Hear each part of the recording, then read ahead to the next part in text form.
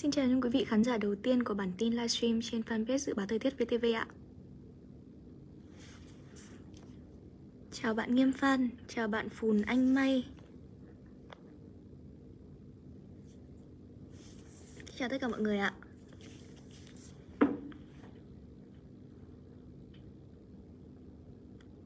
Chào bạn Yến Nhi Phúc ạ. Chào bạn Hoa Anh Đào. Xin chào tất cả mọi người.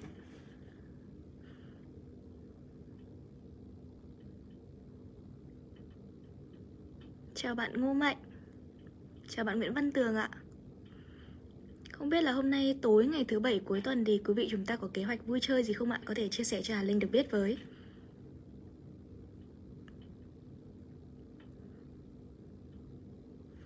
Ngày mai thì trên cả ba miền đất nước thì thời tiết cũng sẽ có những thay đổi đấy ạ.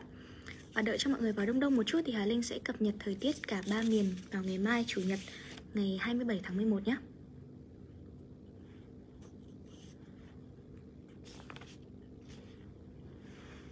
Quý vị nếu có những câu hỏi về thời tiết của các tỉnh thành thì cứ đặt ở phần bình luận.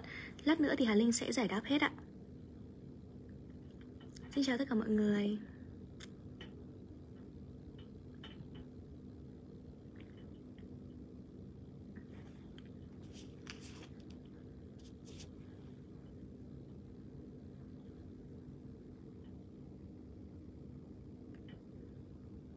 À, Bây giờ mình cùng bắt đầu luôn nhé Ngày mai thì thời tiết à, cả ba miền sẽ như sau Mưa thì vẫn tiếp diễn trong chiều mai ở Nam Bộ cũng như là Tây Nguyên Cảnh báo là có những nơi mưa vừa mưa to Có nguy cơ đi kèm với lốc xét và gió rất mạnh Quý vị chúng ta sinh sống ở khu vực Nam Bộ và Tây Nguyên thì cần lưu ý nhé À, còn trước khi chuyển mưa thì cả Tây Nguyên và Nam Bộ trưa mai vẫn sẽ còn nắng ạ. Nhiệt độ cao nhất tại thành phố Hồ Chí Minh và nhiều thành phố ở Nam Bộ sẽ vào khoảng từ 31 đến 33 độ. Quý vị sẽ cảm thấy hơi nóng đấy ạ. Còn với các thành phố ở Tây Nguyên thì à, do có địa hình cao này nên là trời sẽ dịu mát hơn, nhiệt độ không quá 30 độ ạ. Với Trung Bộ thì mưa sẽ có thể xuất hiện bất chợt ở nhiều thành phố vào ngày mai ạ.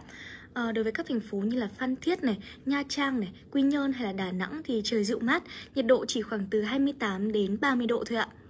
Và các thành phố từ Huế trở ra đến Đồng Hới thì nhỉnh hơn một chút, khoảng là từ 29 đến 30 độ. Riêng tại Vinh và Thanh Hóa thì ngày mai trời nắng, nhiệt độ là từ 28 đến 29 độ ạ. Đối với quý vị khán giả chúng ta ở miền Bắc thì lưu ý là trong đêm nay và sáng sớm mai thì vẫn sẽ có mưa nhỏ bất chợt xảy ra. Nhưng mà đến trưa chiều mai thì trời sẽ chuyển nắng và tạnh giáo hoàn toàn ạ. Nhiệt độ tại thủ đô Hà Nội và nhiều nơi khác sẽ tăng lên, cao nhất là từ 27 đến 30 độ ạ. Vậy là mưa lạnh chỉ còn là nốt trong đêm nay và sáng sớm mai thôi. Đến trưa chiều mai thì ở miền Bắc trời sẽ chuyển nắng, Nhiệt độ cũng sẽ nhỉnh hơn. Quý vị sẽ cảm thấy hơi nóng một chút. Khi mà nhiệt độ tăng lên ở mức là từ 27 đến 30 độ. Thật là tuyệt vời khi mà ngày Chủ nhật cuối tuần thì à, thời tiết lại vô cùng ủng hộ cho các kế hoạch vui chơi cuối tuần, đúng không ạ?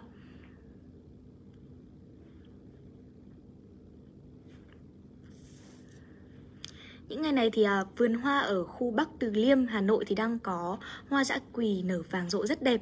Có nhiều du khách đã đến đây chụp ảnh và ghé thăm rồi. Quý vị chúng ta có thể cân nhắc ngày mai là một ngày đẹp trời. Hãy tới đây để lưu lại những bức ảnh thật đẹp với người thân và gia đình nhé.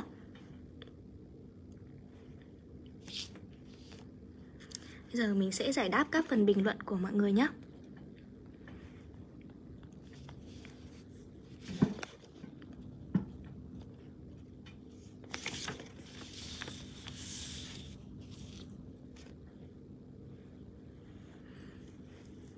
Hiện Bùi hỏi về Hải Phòng đúng không ạ? Hải Phòng ngày mai thì à, đêm và sáng có lúc có mưa rào, sau thì không mưa, trưa chiều trời hứng nắng ạ. Nhiệt độ ở đây sẽ dao động trong khoảng từ 22 đến 30 độ.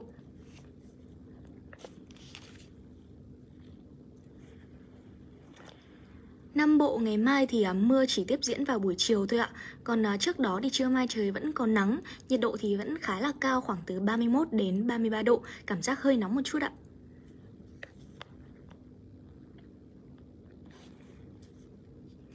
Bạn Hồng Thắm có hỏi Thái Nguyên ngày mai.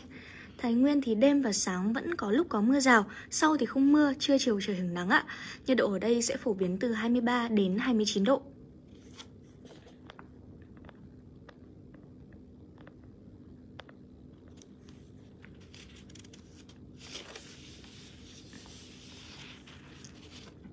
Bạn Thanh Mobi hỏi về thời tiết tại Hà Nam. Hà Nam thì đêm và sáng sớm có lúc có mưa nhỏ, sau thì không còn mưa nữa, trưa chiều trời hưởng nắng. Nhiệt độ ở đây sẽ từ 24 đến 30 độ ạ.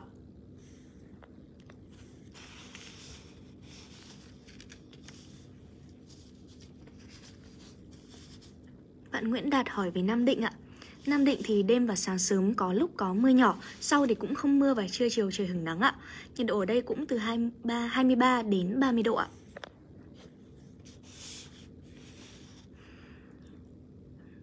Hà Tĩnh mưa không? Hà Tĩnh thì ngày mai ờ, trời không mưa đâu ạ, ngày sẽ có nắng. Đêm cũng không mưa luôn ạ.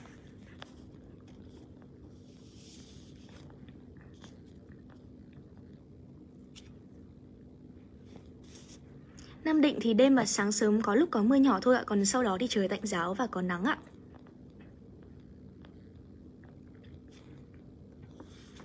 Thái Bình cũng vậy ạ, Thái Bình thì đêm và sáng sớm có lúc có mưa nhỏ, sau không mưa, trưa chiều trời hứng nắng. Nhiệt độ ở đây cũng từ khoảng 23 đến 29 độ ạ.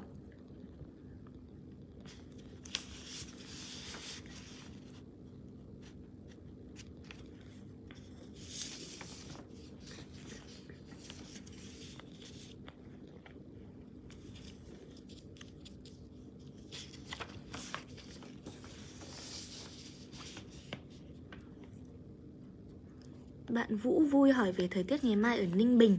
Ninh Bình thì đêm và sáng sớm có lúc có mưa nhỏ, sau không mưa, trưa chiều trời hứng nắng, nhiệt độ là từ 24 đến 30 độ ạ.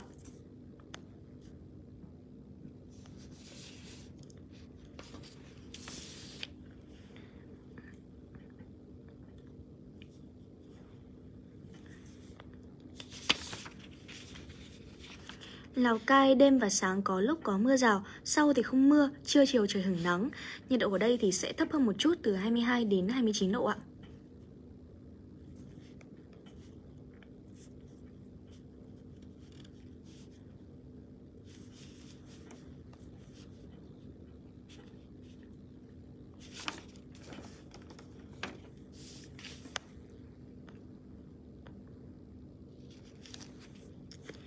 Báo là tại thủ đô Hà Nội thì à, vào hai ngày đầu tuần tức là thứ hai và thứ ba tuần sau là hai ngày duy nhất mà trời có nắng và tạnh giáo.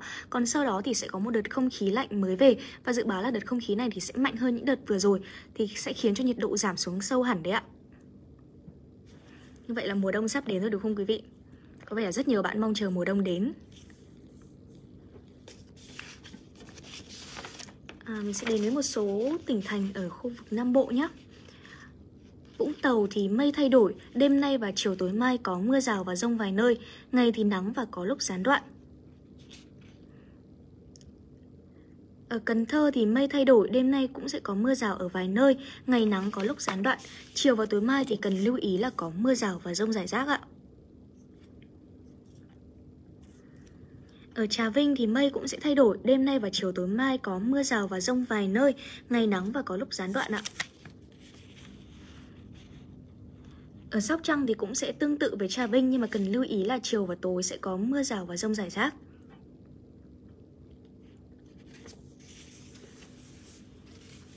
Nhìn chung thì các tỉnh thành ở Nam Bộ và Tây Nguyên thì trong chiều tối mai cần đề phòng với mưa rào, mưa vừa mưa to đi đi kèm với lốc xét và gió rất mạnh ạ. Khi ra đường thì quý vị chúng ta cần lưu ý là đi lại thật là chậm này và giữ khoảng cách an toàn với các xe cũng như là chú ý là chuẩn bị đầy đủ các à, vật dụng đi mưa như là áo mưa này, giày ủng hay là găng tay chống nước để tránh tiếp xúc với nước ngập.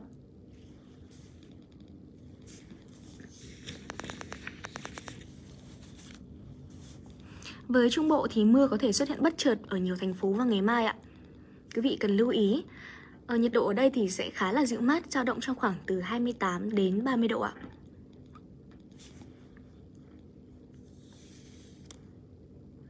Phú Quốc thì mây thay đổi, đêm nay có mưa rào ở vài nơi, ngày nắng có lúc gián đoạn, chiều và tối thì vẫn có mưa rào và rông rải rác.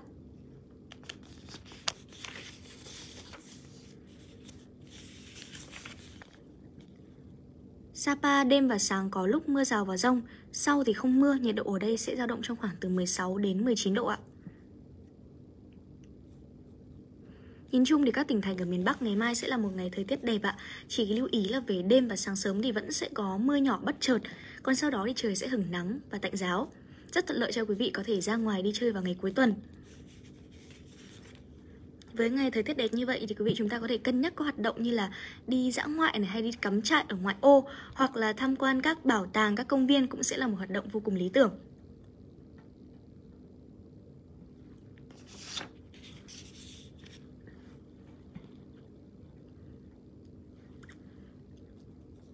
Đối với các thành phố ở Trung Bộ như là Vinh này, Cửa Lò, Hà Tĩnh, Đồng Hới hay Đông Hà, Huế, Đà Nẵng, Quảng Ngãi, Quy Nhơn thì đều lưu ý là có lúc có mưa rào và rông. Nhiệt độ ở đây thì phổ biến trong khoảng từ 24 đến 30 độ.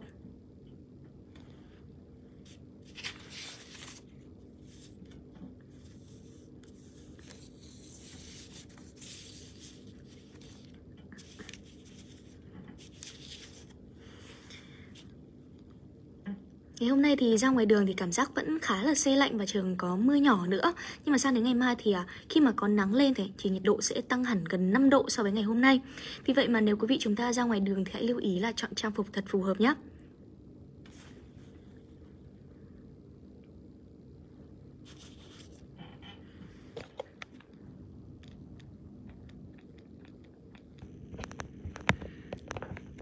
Linh rất muốn trả lời các câu hỏi của quý vị khán giả nhưng mà về phần sau thì chỉ nhìn thấy được là có những ai đang xem thôi Không nhìn được bình luận nữa.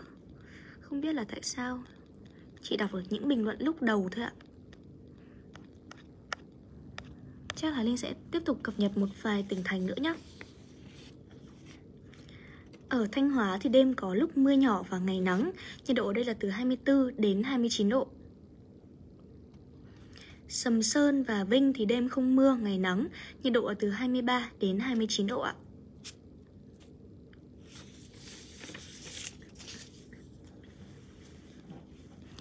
Lào Cai và Yên Bái ngày mai thì đêm và sáng có lúc có mưa rào, sau thì không mưa, trưa chiều trời hưởng nắng, nhiệt độ sẽ là từ 22 đến 29 độ ạ.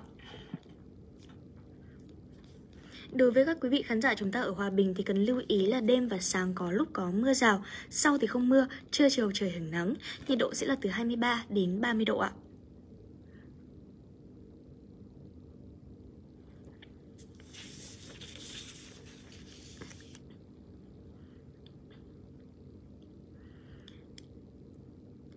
Thành phố Hồ Chí Minh thì mây thay đổi, đêm nay và chiều tối mai sẽ có mưa rào và rông, ở vài nơi, ngày thì nắng nhưng mà sẽ là gián đoạn ạ.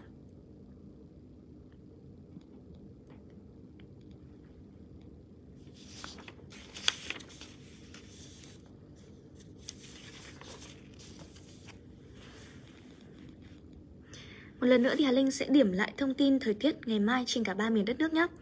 Đầu tiên là ở khu vực Nam Bộ cũng như là Tây Nguyên thì mưa sẽ tiếp diễn trong chiều mai, cảnh báo là có nơi mưa vừa, mưa to, có nguy cơ đi kèm với lốc xét và gió rất mạnh. Và trước khi chuyển mưa thì ở khu vực này trưa mai vẫn sẽ có nắng ạ. Nhiệt độ cao nhất tại thành phố Hồ Chí Minh và nhiều thành phố ở Nam Bộ sẽ là khoảng từ 31 đến 33 độ, cảm giác hơi nóng một chút. Còn đối với các thành phố Tây Nguyên thì nhờ lợi thế địa hình cao này nên là nhiệt độ sẽ không vượt quá 30 độ ạ. Còn đối với khu vực Trung Bộ thì mưa có thể xuất hiện bất chợt ở nhiều thành phố vào ngày mai ạ.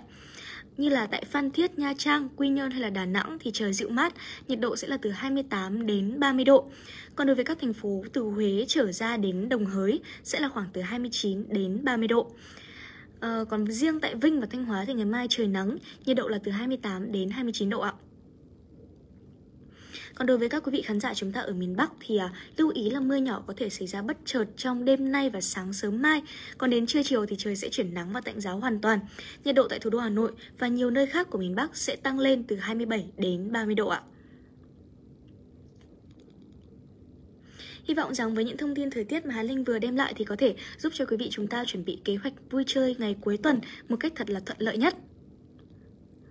Chúc cho quý vị chúng ta sẽ có một buổi tối thứ bảy thật là nhiều niềm vui bên cạnh người thân và gia đình và có kế hoạch vui chơi thật là lý tưởng vào ngày mai ạ. Cảm ơn quý vị đã cùng đồng hành với Hà Linh trong bản tin livestream trên fanpage dự báo thời tiết VTV. Giờ đi xin chào và hẹn gặp lại.